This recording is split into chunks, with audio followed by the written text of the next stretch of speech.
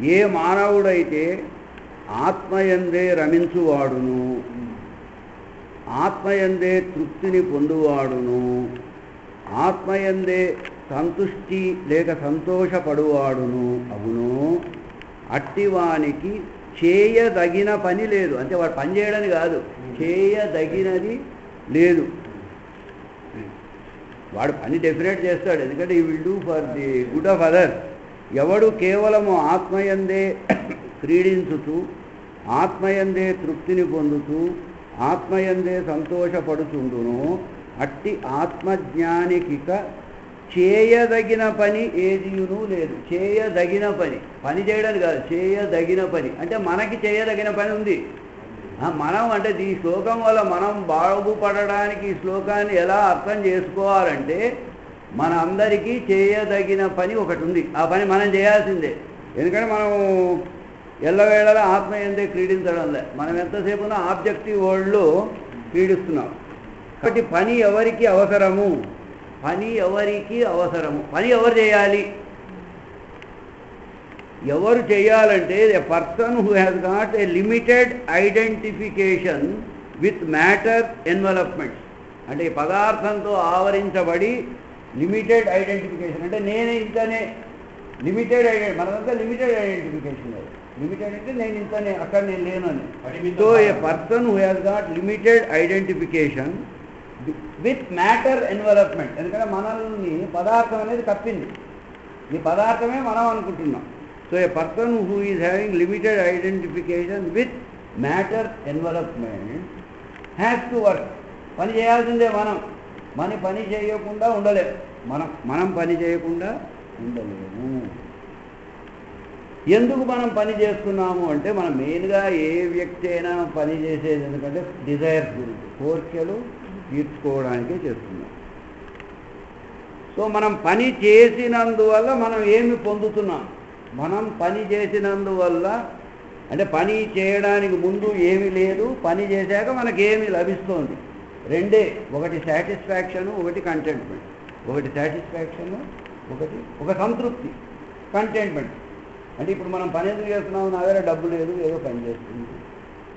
నా దగ్గర జ్ఞానం లేదని నేను అనుకుంటున్నాను కాబట్టి జ్ఞానం కోసం పని చేస్తున్నాను నా దగ్గర బలం లేదని బలం కోసం పని చేస్తున్నాను అంటే నా దగ్గర కొన్ని పదార్థాలు కొన్ని నా దగ్గర లేవు. అవి నా దగ్గరికి వస్తే నాకు ఒక విధమైన సంతృప్తి కలుగుతుంది. అంతే కదా? కాబట్టి పని చేసేవాడు పరిమితమైన భావన మనకున్నంతసేపు మనం పని చేయవలసిందే. పరిమితమైన భావన. అంటే ఈ శరీరం ఇదే నేను అనుకున్నవాడు చేయాల్సిందే. చేస్తాడు. చేయకుండా ఉండలేడు వాడు. వాడు చేయాల్సిందే. కానీ ఈ పరిమితమైన భావన లేకుండా అంటే నేనే ఆత్మస్వరూపుడను నేను దేహస్వరూపుడను నేను ఉన్నవే రెండు. నేను ఈ దేహం అనేది మనము. నేను ఆత్మను అనుకుని అంటే అపరిమితమైన స్వరూపడం నేను ఈ పరిమితమైన స్వరూపం నేను కాదు అనుకున్న వాడికి పనితో పని లేదు. అంటే పని చేసే అవసరం లేదు. అంతేకాని వాడు పని చేయడం కాదు వాడే నిజంగా చేసేది. మనమే లేజీ ఫెలోస్ లాగా కూర్చుంటాం. సో ఎవరికైతే పని చేసే అవసరం ఉందో వాళ్ళు పనిచేయరు ఎవరికైతే పని చేసే అవసరం లేదో వాడు నలుగురి బాగు కోసమై పనిచేయరు అర్థమైంది? సో ఇక్కడ క్వశ్చన్ వచ్చేది ఏమిటంటే ఈ పరిమితమైన భావన కలిగిన మనము పని ఎందుకు చేయాలి అని అట్లా మన క్వశ్చన్ వేసుకోవాలి మరి. Why should we do work అంటే ఈ భావన పోవడానికి చేయాలి అన్నమాట. అంతే కదా? ఈ భావన లేనివాడికి పని చేసే అవసరం లేదు. మరి ఈ భావన ఉన్నవాడు పని చేయాలంటే ఎందుకు చేయాలి? అంటే ఈ భావన ఇంకా పెంచుకోవడానికి కాదు. ఈ భావన నీకు పోవాలి. ఈ భావన పోయి ఆ భావన రావడానికి నువ్వు పని చేయాలి. అలా పని చేసినప్పుడే అది తెలివైన పని అని. కానీ ఈ భావనే నీకు నీ పని వల్ల ఇంకా బలవత్తరం అవుతూ పోతూ ఉంటే ఇంకొక క్వశ్చన్ ఎప్పుడు మనం అడగాలంటే ఎప్పుడైనా మనం పని ఎందుకు చేస్తున్నాం? పని చేశాక పని వల్ల ఫలితం పొందాక ఇంకా నాకు పని చేసే అవసరం లేదు. No I have to take rest అంతే కదా? నువ్వు ఇరవై నాలుగు గంటలు పని చేయాలని ఎవడు అనుకోడు. ఎవరైనా పని చేస్తుంటే కొన్ని రోజులు నేను పని చేసి నేను రెస్ట్ తీసుకుంటా అని అంటాడు. అంతే కదా? నువ్వు రెస్ట్ ఎప్పుడు తీసుకుంటావు? అంటే రెస్ట్ తీసుకోవడాని కోసమై పని చేస్తున్నావు. నువ్వు ఇంత కష్టపడి ఇప్పుడు మేము ఒక ముప్పై ఏళ్ళు కష్టపడి గవర్నమెంట్ సర్వీస్ చేసేందుకు హాయిగా రిటైర్ అయ్యి పెన్షన్ తీసుకుందామని అంతే కదా. నువ్వు చచ్చిపోయే వరకు పని చేయమంటే కష్టం. సో పని ఎందుకు చేస్తున్నాము? పని చేయకుండా ఆనందంగా ఉండడానికి అన్నమాట అంటే పని చేయకుండా నాకు ఆనందం వస్తున్నది అనే భావన నాలో రావాలి. కానీ ఇప్పుడు మనకేమైంది? నాకు ఒక సంతృప్తి కలగడానికి పనిచేస్తుంది. కాబట్టి ఈ పరిమితమైన భావన పోయేటంత వరకు మానవుడు పని చేస్తూనే ఉంటాడు. ఇది నెంబర్ వన్ సో మనము తెలివిగా పని చేయాలి అంటే ఏమిటి? తెలివైన అంటే పరిమితమైన భావన నీకు పోవాలి. పోయేటంత వరకు పని చేయాలి. కాబట్టి ముందు మనకి మెయిన్గా తెలుసుకోవాల్సింది ఏంటంటే మనం పని ఎందుకు చేస్తున్నామని మనల్ని మనం ప్రశ్నించుకోవాలి. మనము ఈ పని ఎందుకు చేస్తున్నామని ప్రశ్నించుకోవాలి. అలా ప్రశ్నించుకొని తెలివిగా పని చేయనంత కాలము పని చేస్తూనే ఉంటాం.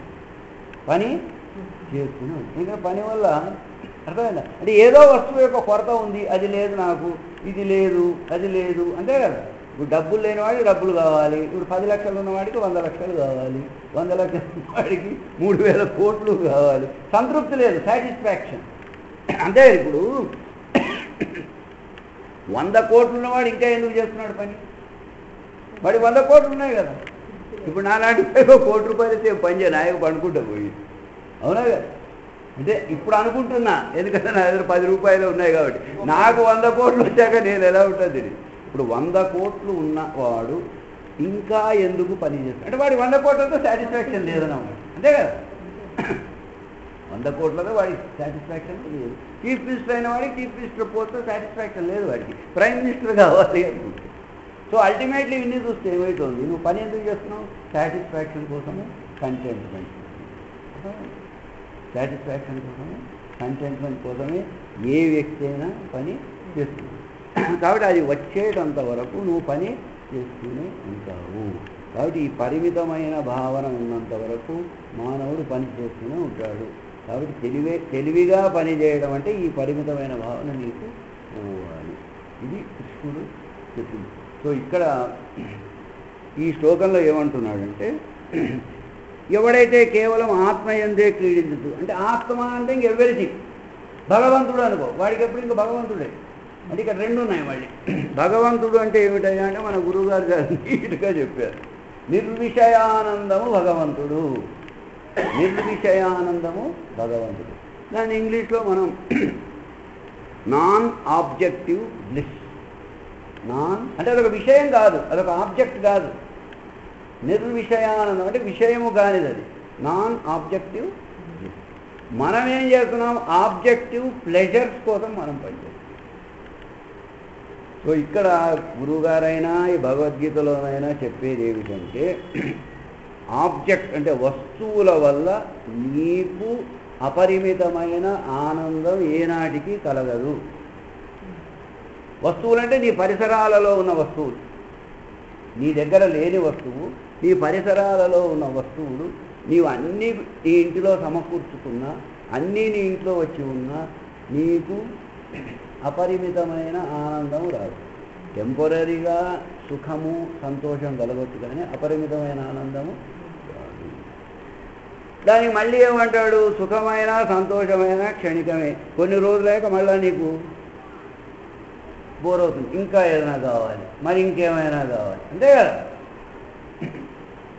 నువ్వు ఏమీ డబ్బు లేని వాడి దగ్గరకు పది లక్షలు వస్తే ఒక నెల రోజులు వాడు హాయిగానే ఉంటాడు. ఒక నెల రెండు నెలలేక మళ్ళీ వాడు స్టార్ట్ చేస్తాడు. ఇంకా కావాలి. సో ఆబ్జెక్ట్స్ నుంచి నీకు అపరిమితమైన ఆనందము రాదు. తాత్కాలికంగా సుఖము సంతోషం కలుగుతుంది. కొన్ని రోజులు ఉంటావు కానీ టోటల్గా నీకు రాదు. సో ఆబ్జెక్ట్స్ వల్ల ఎంతసేపునా నీకు ప్లెజర్ రావచ్చు. టెంపరీ కంఫర్ట్ రావచ్చు but that will not be ఇది క్వశ్చన్.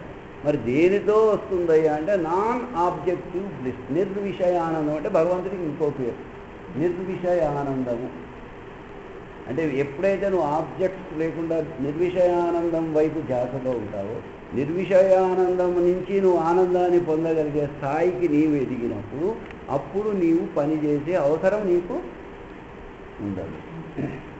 కానీ మనం ఇప్పుడు ఎంత దిగజారిపోయినామంటే ఆబ్జెక్ట్ లేకుండా సుఖం లేదు టీవీ లేకుండా ఏం ఆనందం డబ్బు లేకుంటే ఏం ఆనందం అవును కాదు?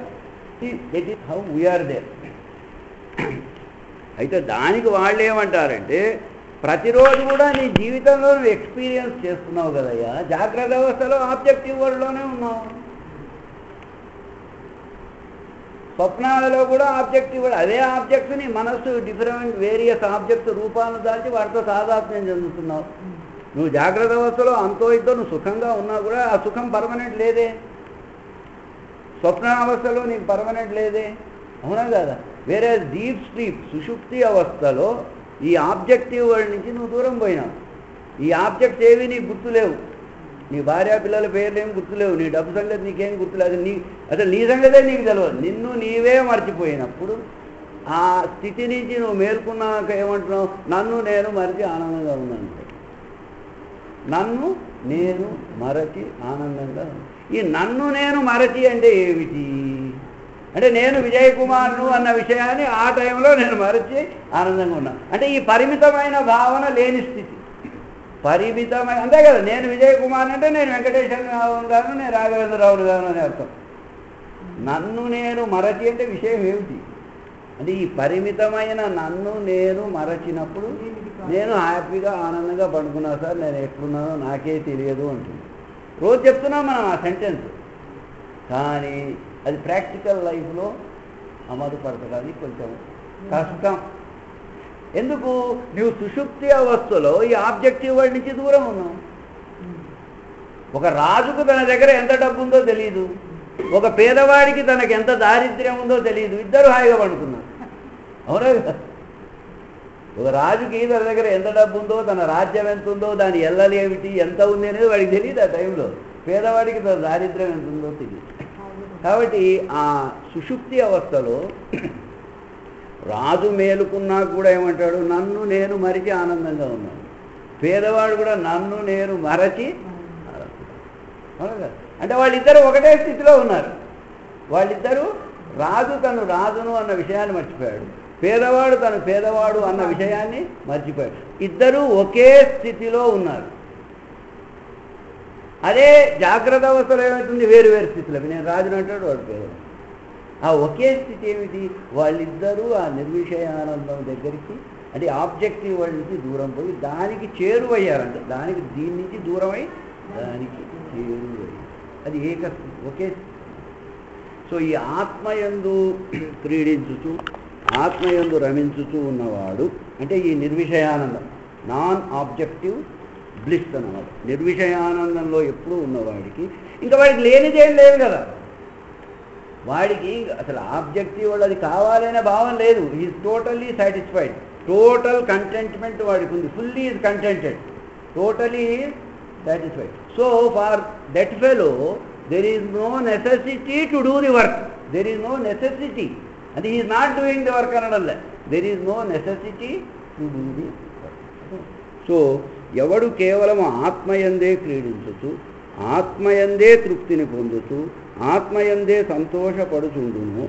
అట్టి ఆత్మజ్ఞానికి చేయదగిన పని ఏదీనూ లేదు. అంటే మనకి చేయదగిన పని అంటే ప్రతి వ్యక్తికి కూడా ఒక చేయదగిన పని నువ్వు చేయదగిన పని నేను చేయదగిన పని వేరే. నువ్వు ఎప్పుడైతే నేను ఒక గృహిణి అనుకుంటావో గృహిణిగా నువ్వు అది విధి. ఎందుకంటే ఇక్కడ వరడు పెట్టారు? చేయదగిన పని విధి. పని అనలే చేయదగిన పని అన్నాడు. చాలా ఇంపార్టెంట్ ప్రతి వ్యక్తికి కూడా చేయదగిన పని ఒకటి ఉంటుంది. అంటే నేనేం చేయాలి అంటే నువ్వు నువ్వు ఏమనుకుంటున్నావో నువ్వు చేయాలి. ఇప్పుడు నన్ను నేను ఒక డాక్టర్నే నేను అనుకుంటున్నా. అంటే నాకు ఒక పరిమితమైన భావన వచ్చేసింది. అది చాలా ఇంపార్టెంట్ మళ్ళా. నేను ఒక డాక్టర్ని అనగానే నాకు ఒక పరిమితమైన భావన వచ్చింది. అంటే నేను ఒక యాక్టర్ని గాను నేను ఒక అడ్వకేట్ని గాను నేను ఒక టీచర్ని గాను ఒక వకీలను నేను ఇది అనగానే నేను ఈ కానివి చాలా ఉన్నాయి. అది మనకు అర్థం కావడంలే. నేను ఇది అని మురిసిపోతున్నావు కానీ నేను కానివి అనేకం ఉన్నాయి అలాగే నేను ఒక గృహిణి అంటే యూ సర్టిఫైడ్ యువర్ సెల్ఫ్. అదొక మిస్కాన్సెప్ట్ అదొక వ్యాధి లక్షణం వ్యాధి పోని అర్థమైందా? సో నేను ఒక డాక్టర్ని అనే వ్యాధి లక్షణం పోవడానికి నీకు ఒక చేయదగిన పని ఉంది. అదొక విధి. ఎందుకు? అంటే నేను ఈ పరిమితమైన డాక్టర్నే కాదు అనే అజ్ఞానము పోవడానికి? సో ఇక్కడ అట్టి ఆత్మజ్ఞానికి చేయదగిన పని ఏదీనూ లేదు. అయితే మనమేంటి? మనం ఆత్మజ్ఞానులం కాం మనము దేహజ్ఞానులం. దేహజ్ఞానం. జ్ఞానము అంటే తదాకార్. ఈ దేహమే నేను అనే భావన మనకున్నంత వరకు మనం పని చేయాలి. ఎందుకు ఆ భావన పోవడానికయ్యా? ఆ భావన పోవడానికయ్యా. సో కర్మయోగమును శీలించ శీలించవలసిన విధి లోకములో కొద్ది మందికి తప్ప తక్కిన వారందరికీ కలదు. అంటే ఓన్లీ వెరీ ఫ్యూ పీపుల్ అంటే ఎవరైతే ఆల్వేస్ నాన్ ఆబ్జెక్టివ్ దృష్టిలో ఉన్నారు. అంటే వాడికి వాడి ఆనందానికి ఆబ్జెక్ట్ అవసరం లేదు. ఇది మళ్ళీ ఇది సెకండ్ పాయింట్ వాడి ఆనందానికి ఆబ్జెక్ట్ అవసరం లేదు. విషయాలు వద్దు. నిర్విషయంతో వాడు ఆనందాన్ని పొందగలడు. కాబట్టి విషయాలు లేనప్పుడు వాడు చేసే పని ఏమి లేదు. సో కర్మయోగమును శీలించవలసిన విధి లోకంలో కొద్ది మందికి తప్ప తక్కిన వారందరికీ కలదు. ఆ కొద్ది మంది ఎవరో ఈ శ్లోకమందు చెప్పబడినది. ఆత్మారాములు ఆత్మతృప్తులు ఆత్మ సంతుష్టులు అగు మహనీయులకు కర్మ సంబంధమైన విధి లేదు. అంటే నీకు ఒక అల్లాటెడ్ వర్క్ లేదు. ఇదే నువ్వు చేయాలనే రూల్ లేదు వాడు ఏలయనగా ఎందుకయ్యా వాళ్ళకి లేదంటే సమస్త కర్మల యొక్క సమస్త సాధనల యొక్క అవధి ఏమిటి? అది మనకు తెలియదు వచ్చిన ప్రాబ్లం ఇది. సమస్త కర్మల యొక్క సమస్త సాధనల యొక్క లక్ష్యం ఏమిటి? ఆత్మ సాక్షాత్కారం. అంటే నేను ఈ పరిమితమైన దేహాన్ని కాదు నేను ఆత్మస్వరూపం. ఆ జ్ఞానమే అన్ని కర్మల లక్ష్యం. నేను మన కర్మ లక్ష్యం అది కాదు కదా. మన కర్మ లక్ష్యము అది కావాలి ఇది కావాలి నా దగ్గర లేనిది కావాలి అనే భావనే కదా. సో కాబట్టి ఈ వాక్యాన్ని ఇంకా జాగ్రత్తగా పరిశీలిస్తే నువ్వు ఒక కర్మ ఎందుకు చేస్తున్నావు? ఆ వస్తువు నా దగ్గర లేదు అనే భావన వచ్చింది కాబట్టి చేస్తున్నావు. ఆ వస్తువు నా దగ్గర లేదు అనే భావన నీలో వచ్చి that is precipitating you asking you making you to work నా ఇంట్లో టీవీ లేదు అనే ఒక నీకు థాట్ రాగానే నువ్వు బజారు పోయి టీవీ కొంటున్నావు. అంటే నా ఇంట్లో టీవీ లేదు కాబట్టి నాకు దుఃఖంగా ఉంది. పక్కింటి వాడు కలర్ టీవీ చూస్తున్నాడు. నా సంగతి పెట్టి నేను బజారు పోయి టీవీ అంటే అదే కర్మ. ఎందుకు నువ్వు ఆ పని చేసిన వాళ్ళకి అసంతృప్తి కలిగింది నీలో? నీ ఇంట్లో టీవీ రాగానే నీకు ఒక సాటిస్ఫాక్షన్ నీకు ఒక కంటెంట్మెంట్ కలుగుతుంది. సో కర్మ ద్వారా పొంద అయితే ఇది ఆత్మ సాక్షాత్కారము అదియో వారికి లభించే ఉన్నది. దే ఆర్ ఆల్వేస్ హ్యాపీ అంటే వాడికి ఇంకా నాకు ఎందుకు చేయాలి పని అంటే వాడి దగ్గర పోయి నువ్వు నువ్వు పని ఎందుకు చేయడం నేను ఎందుకు చేయాలి పని? ఇప్పుడు రాఘవేంద్రరావు ఉన్నాడు నువ్వు పోయి ఎల్ఐసి ఆఫీస్లో ఎందుకు పని చేయాలి? నేను ఎందుకు చేయాలయ్యా? నేను ముప్పై ఏళ్ళు పని చేశా. ఇప్పుడు నాకు పెన్షన్ వస్తుంది ఐఎమ్ కంటెంటెడ్ ఇప్పుడు he satisfied with pension for that has worked for thirty five years ఇప్పుడు ఆయన ముప్పై ఐదేళ్ళు కష్టపడి పని చేస్తే దాని ఫలితం వస్తుంది. వచ్చిన దాంతో ఆయన సంతృప్తిగా ఉన్నాడు. కాబట్టి నాకు పని చేసే అవసరం లేదంటున్నాడు. అట్లానే ఆయన పని చేయడం మానలే. వేరే ఇతరులు వేరే వాళ్ళ ఉపయోగం కోసం చేస్తున్నారు. ఇన్ని రోజులు తన స్వలాభాని కోసమై తాను డబ్బు సంపాదించడాని కోసమే పని అంతే కదా? కాబట్టి ఇప్పుడు తన కోసం పనిచేసే విధి లేక అవసరము నెసెసిటీ ఆయనకు లేదు. అలా అని పని చేయకుండా ఉండడు. ఆయన పని చేసినా కూడా ఇతరుల యొక్క ఉపయోగాలు. సో ఆత్మతో సంతృష్టి పెట్టడం వాళ్ళు వాడు గురువు పోండి అటువంటి వాళ్ళు వాళ్ళు ఏ పని చేసినా నలుగురికి ఉపయోగపడే పనే వాళ్ళు. ఇతరుల కోసం వాళ్ళు జీవిస్తారు. వాళ్ళ కోసం వాళ్ళు జీవించే స్టేట్ దాటిపోయారన్నమాట. సో కర్మ ద్వారా పొందదగిన ఫలమును వారు పొంది ఎందుకంటే ఇన్ని రోజులు చేశారు వాళ్ళు నవోదయ కంప్లీట్ చేశారు కాబట్టి శాస్త్రములు అట్టి వారికి విధిని తొలగించినవి. అంటే వాడు చేసే పని ఏం లేదయ్యా? వాడు చేసే పని ఏమీ లేదు. విధిని తొలగించినవి శాస్త్రాలు. అంటే యూ నీడ్ నాట్ ఎందుకు చే? వాడికి ఒక పరిమితమైన భావం లేదు. వాడిని డాక్టర్ ఉంటే డాక్టర్ పని చేయాలి. అంతానే అనుకుంటున్నాడు వాడు. వాడు ఆ లెవెల్కి వెళ్ళడం. సో పరిమితమైన భావన లేని వాడికి పని చేయవలసిన విధి లేదు. అయినను ఇది పాయింట్ ఇంపార్టెంట్. అయినను లోక సంగ్రహార్థం అట్టి మహాత్ములు సత్కర్మలను ఆచరించుతూనే ఉంది. They are about other people not for their side they అంటే వాళ్ళకి అవసరం లేదు. నా పెన్షన్ వస్తుంది I'm happy with my pension వారు కర్మ చేసి ఇది చాలా ఇంపార్టెంట్ పాయింట్. వారు కర్మ చేసినను కర్మ చేసినను దోషము లేదు కర్మ చేయకున్నను దోషము లేదు. ఈ పాయింట్ మళ్ళీ పట్టుకోవాలి మనం. ఎందుకంటే భగవద్గీతను ఎప్పుడు మన మనం బాగుపడడానికి మనం వాడుకోవాలి. అంటే వాళ్ళు కర్మ చేయకున్నను దోషం లేదు. అంటే మనం కర్మ చేయకుంటే దోషం ఉంది. మనము కర్మ ఇప్పుడు రాఘవేంద్రరావు గారు ఉద్యోగం చేసి రిటైర్ అయ్యి హాయిగా మధ్యాహ్నం కూడా పడుకుంటున్నాడు. ఆయన మనముడు శశాంక్ అంటాడు తాత ఇంత పండుకోవడానికి ఉద్యోగం అయితే నేను పండుకుంటా అంటాడు వాడు. మధ్యాహ్నం ఆ పన్నెండు గంటలకు ఆయన ఇంటికి పోతే ఆయన ఒక మందం మీద శశాంక్ ఒక మందం మీద పడుకున్నాడు. శశాంక్ అంటాడు అక్కడ ఇంత పని చేశారు మళ్ళీ మంచం మీద పండుకోవడానికే కదా అని అంటాడు. ఈయన ఆత్మారాముడు వాడు ఇంకా పరిమితమైన భావన కలవు అది చాలా ఇంపార్టెంట్. ఎందుకంటే ఆల్రెడీ అది డన్. ఆయన కంటెంట్మెంట్ వచ్చేసింది. కాబట్టి వీడికి పని చేసే విధి ఉంది. He has to do the work ఇది మన అంటే మెటీరియలిస్టిక్ లైఫ్లో ఎగ్జాంపుల్ చెప్పుకుంటే అయిపోయింది. అదర్వైజ్ అది కాదండి. పండుకున్న రాఘవేంద్రరావు మంచోడు పండుకున్న శశాంక్ చెడ్డోడు అంటే ఇద్దరు ఒకటే పని చేస్తున్నారు కదా. మరి ఆయన ఏ మెంటల్ స్టేట్లో ఉన్నాడు నువ్వే మెంటల్ స్టేట్ నీకు పనిచేసే అవసరం ఉంది. Still you don't know what you are still you don't know what you are. He knows what he అది అది తెలుసుకోవాలి అంటే వాళ్ళని పట్టుకుని మనం అకర్మణ్యులు కాకూడదు. సో మెజారిటీ ఏమవుతుందంటే అబ్బాయి ఎందుకని ఏదో నాలుగు మంచి మాట మరి. You have to work.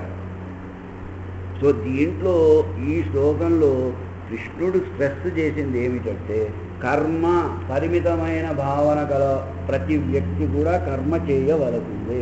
కర్మ నుంచి నువ్వు పరిగెత్తుకొని పోలేవు లేని వేదాంతం పలకకు. You have to work you have to because you got a limited opinion about yourself కాబట్టి అట్టి మహాత్ములు సత్కర్మలను ఆచరించుతూనే ఉన్నారు.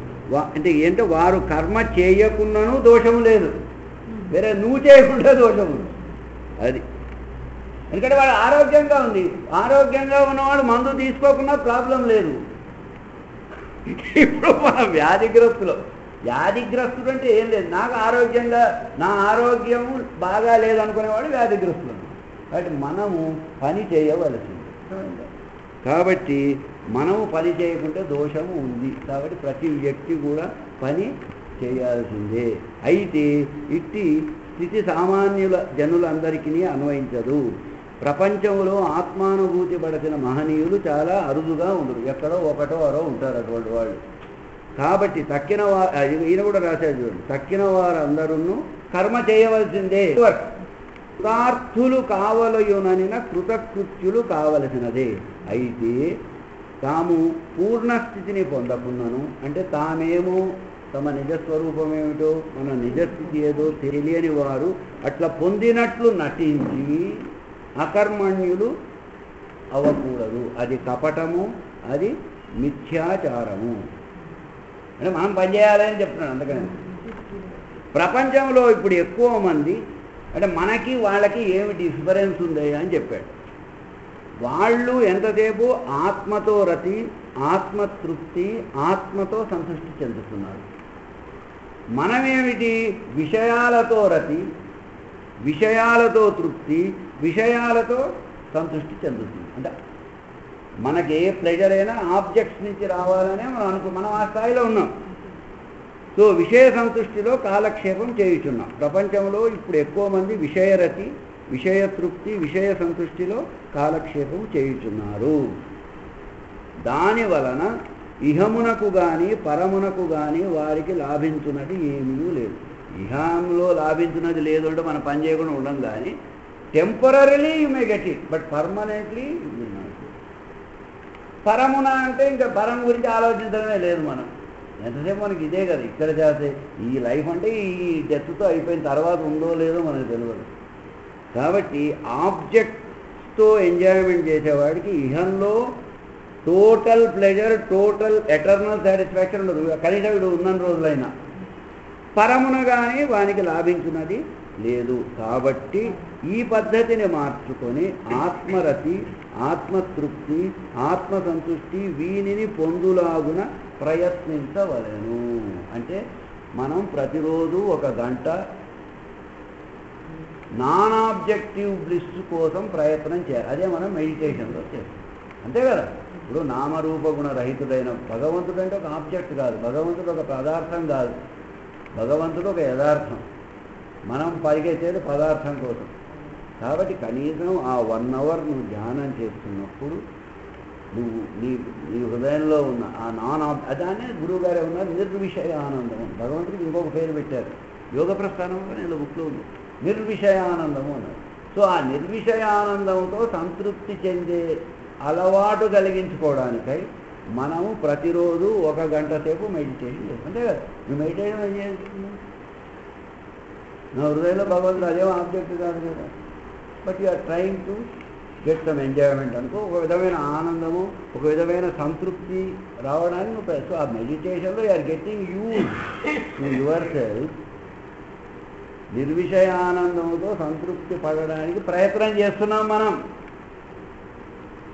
లేకపోతే ఇరవై నాలుగు గంటలు ఆబ్జెక్టివ్ వరల్డ్లోనే పోతున్నాం. కాబట్టి ధ్యానం వల్ల లాభం ఏమిటంటే ఆ ఒక్క గంట మనకి ఏ ఆబ్జెక్ట్స్ లేకున్నా నాకు ఆనందంగా ఉంది అనే ఒక కంక్లూజన్కి వస్తే ఆ ఆనందం యొక్క నిజమైన రుచి ఒకవేళ మనకు అనుభూతి కలిగితే స్లోగా మనకేమవుతుందంటే మనం చేసే పనులు విషయ సుఖాలు విషయ సంతోషాల వైపు పోవడం తగ్గించుకుంటాం.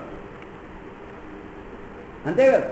సో యాక్చువల్లీ మెడిటేషన్ వల్ల లాభం ఏమంటే వీటి నుంచి ఎంజాయ్మెంట్ ఇది అవసరం లేదు అనే idea slowly you will be going after non objective కాబట్టి ధ్యానం చేసేవాళ్ళు సాధన చేసేవాళ్ళు ఎవళ్ళకు వాళ్ళు మనం బేరీలు వేసుకోవాలి.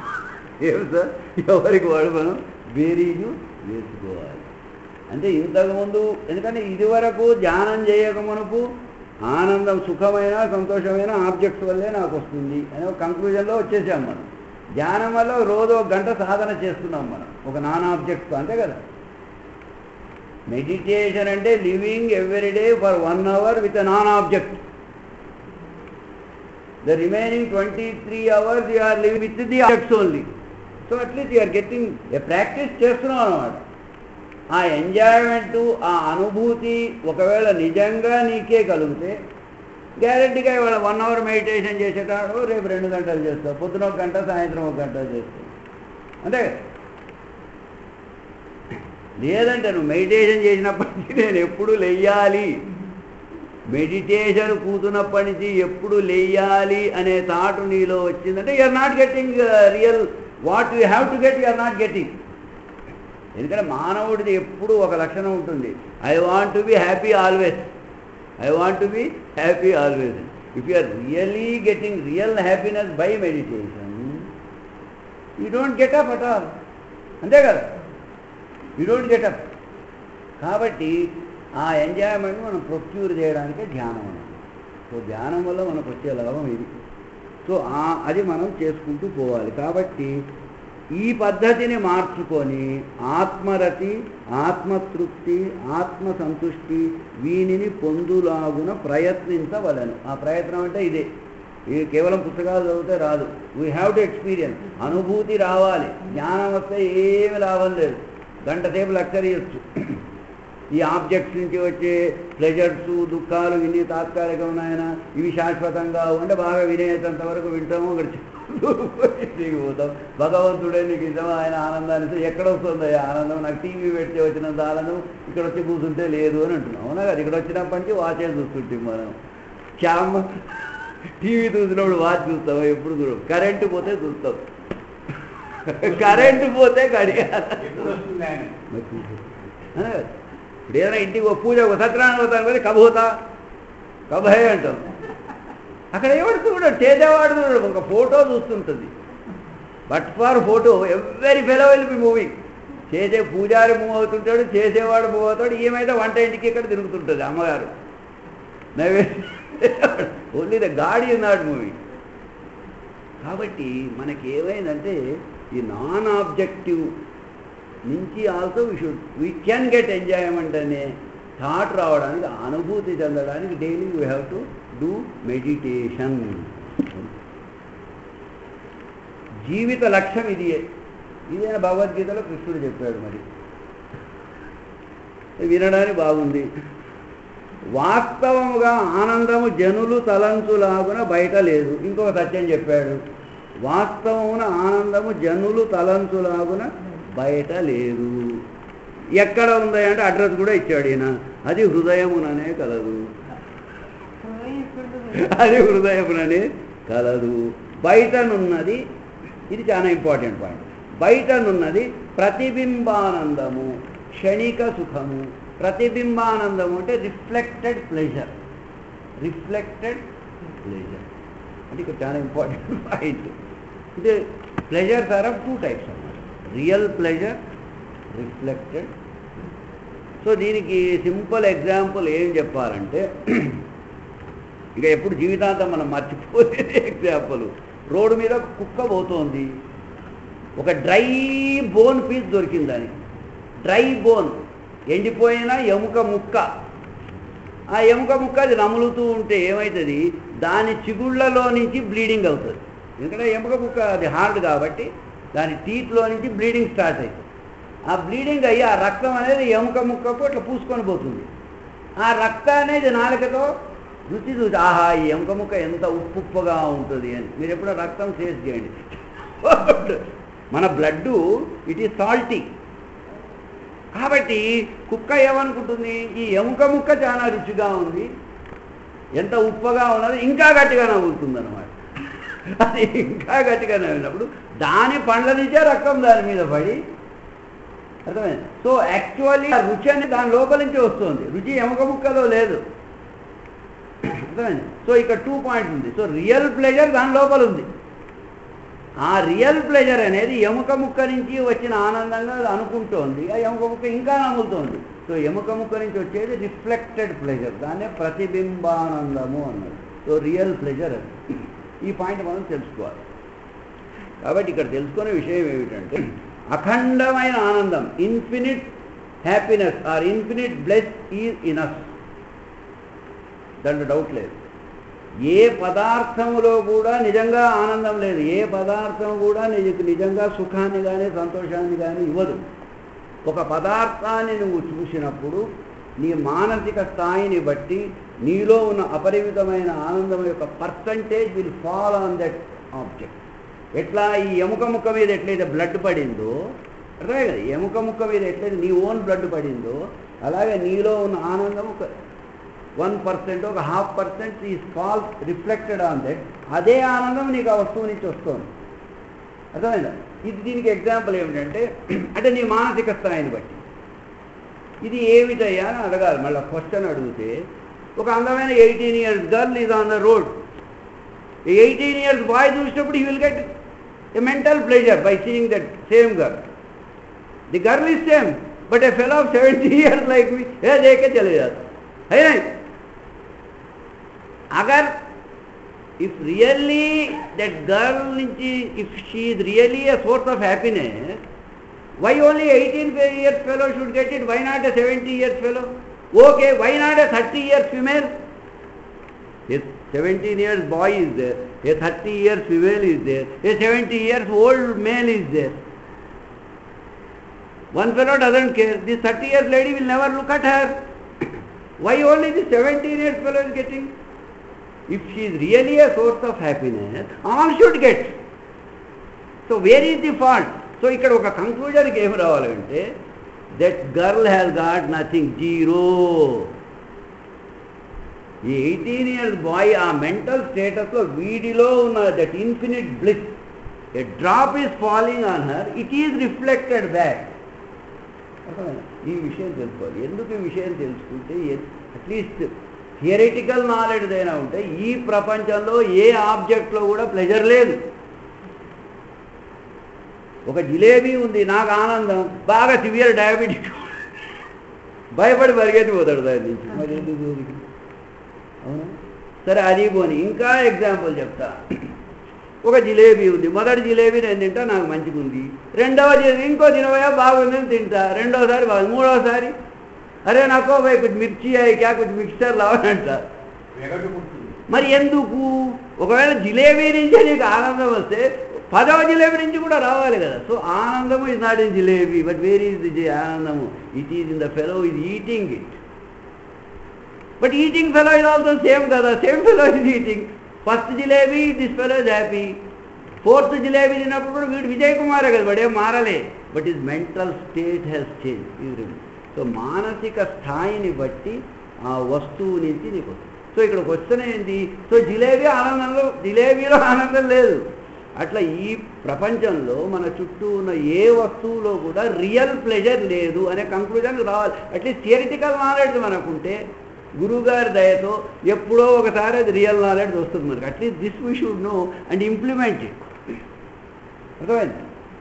సో ప్రతి వస్తువు కూడా ఈ ప్రపంచంలో నీకు ఆనందాన్ని ఇస్తోందంటే it is only a reflected pleasure it is not real pleasure if it is real pleasure you should get even with thirty year jalebi also you should get you will not get so it all depends upon your mental state ఇది అయిపోయింది. మరి ఇంత తెలుసుకున్నప్పుడు అంటే వస్తువు ఆనందం లేదు. మొదటి దానిలో వచ్చిన ఆనందం నా రిఫ్లెక్టెడ్ ప్లెజర్ అనుకున్నప్పుడు యాక్చువల్లీ మనం నిజంగా తెలివిగల వాళ్ళం అయితే ఈ రిఫ్లెక్టెడ్ ప్లెజర్ నుంచి కాకుండా ద సోర్స్ ఆఫ్ ప్లెజర్ ఇక్కడ ఉంటే why not we go there అని ఇప్పుడు got the point actually source of pleasure ఇక్కడ ఉంది హండ్రెడ్ పర్సెంట్ ప్లెజర్ ఇక్కడ ఉంది దాంట్లో పాయింట్ ఫైవ్ దాని మీద పడి నీకు వస్తుంది దాని వెనుకనే ఒక కుక్క డ్రై బోర్ తిన్నట్టుంది. మన బతకంటే ఇది. అంటే అనకూడదు కానీ కుక్క బతుక అయిపోయింది. We are living like that at least ఒక రోజు రావాలి ఒక ఐడియా రావాలి మనం.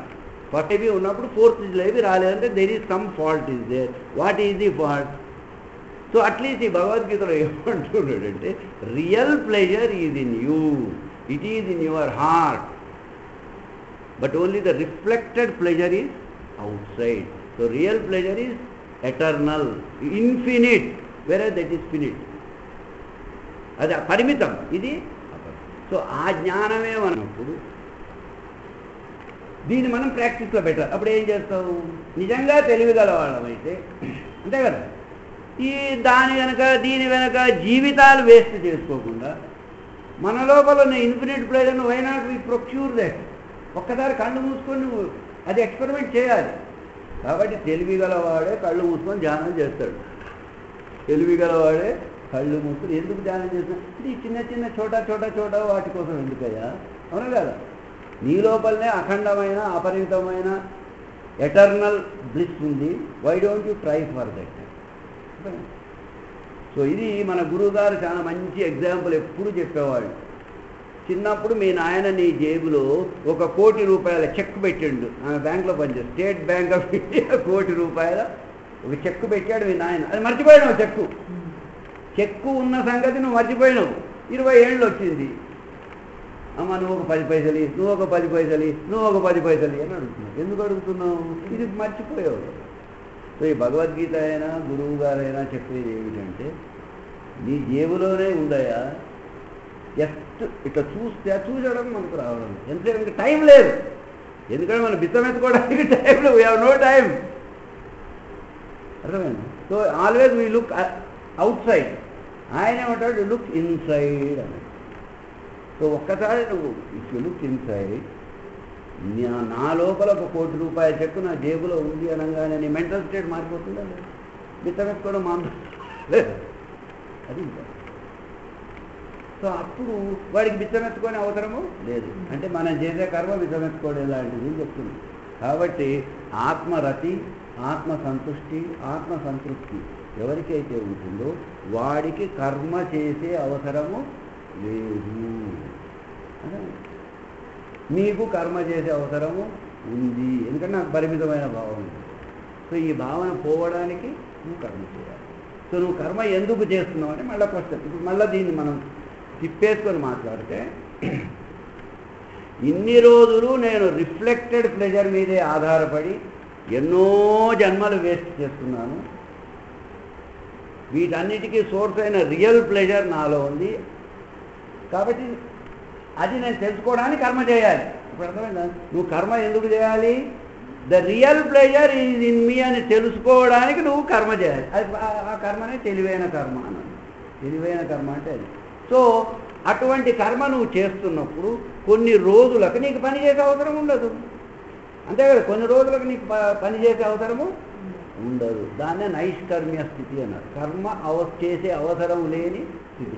దాన్నే ఇక్కడ ఆత్మరతి ఆత్మసంతృప్తి అనే ఈయన అక్కడ చెప్పాడు. మన గురువుగారు ఏమన్నారంటే నైష్కర్మ్య అంటే కర్మ చేసే అవసరము లేదు. సో కర్మ ఎందుకు చేయాలి? కర్మ చేసే అవసరం లేని స్థితికి పోవడానికి. ఉద్యోగం ఎందుకు చేయాలంటే మాలాగా పెన్షన్ తీసుకొని ఆయన ఎప్పుడు ఉద్యోగం చేస్తారండి పిచ్చోడు అంటారు అవునా రిలాక్స్ పడుతుంది సో అది ఈ శ్లోకంలో మనకు చెప్పింది. అది హృదయముననే కలదు.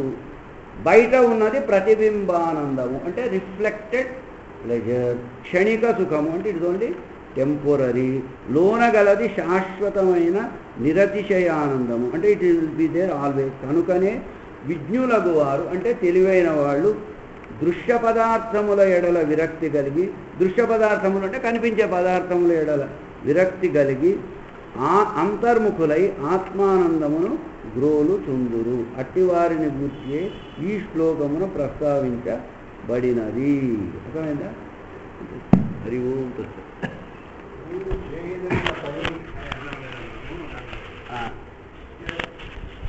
కర్తవ్య కర్మ ఈ కర్తవ్య కర్మ విత్ ఎక్స్పెక్టేషన్ ఆర్ నాట్ ఆ.